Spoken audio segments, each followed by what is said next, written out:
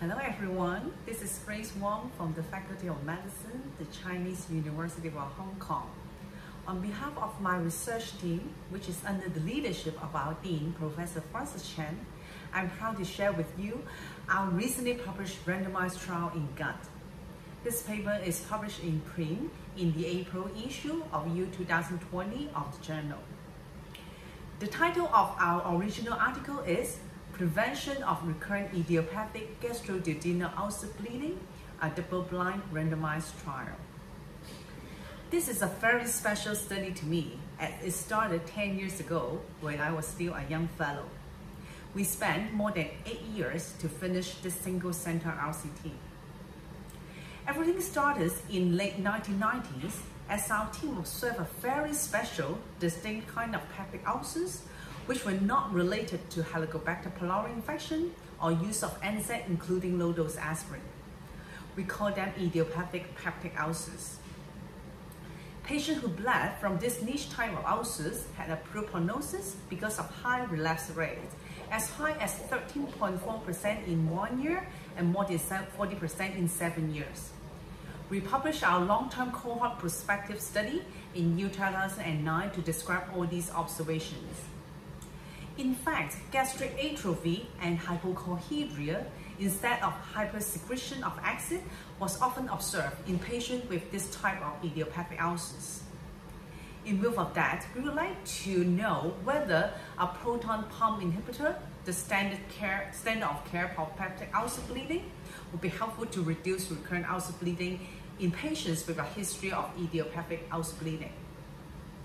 In this double-blind randomized trial, we aim to test the hypothesis that a PPI, lansoprazole, is superior to an H2 blocker famotidine for the prevention of recurrent upper GI bleeding in patients with a history of H.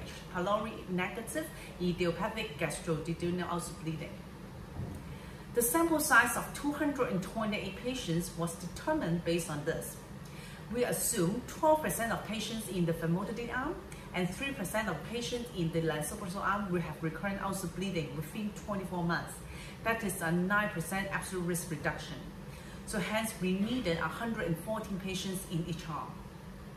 Our findings are like this.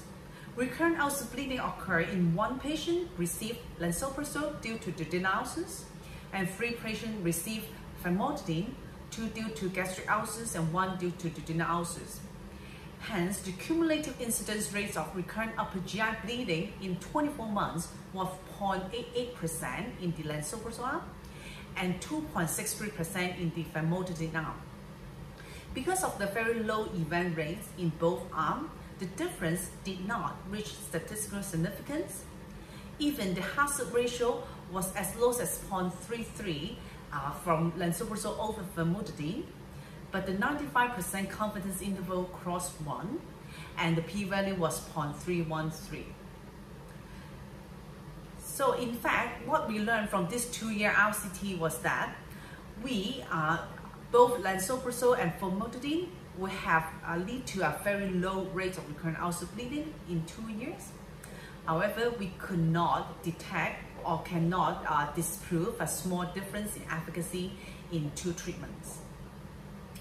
How will this study impact on your clinical practice? Well, we are happy to say that the incidence of recurrent H. pylori negative idiopathic ulcer bleeding is generally low in either the lansoprazole or famotidine arm. But we cannot really exclude a small difference in efficacy between lansoprazole and famotidine, as only one patient in the lansoprazole arm versus three patients in the famotidine arm rebled. I hope you have enjoyed watching this video abstract and will find our RCT helpful to your clinical practice. Thank you so much for watching. Bye-bye.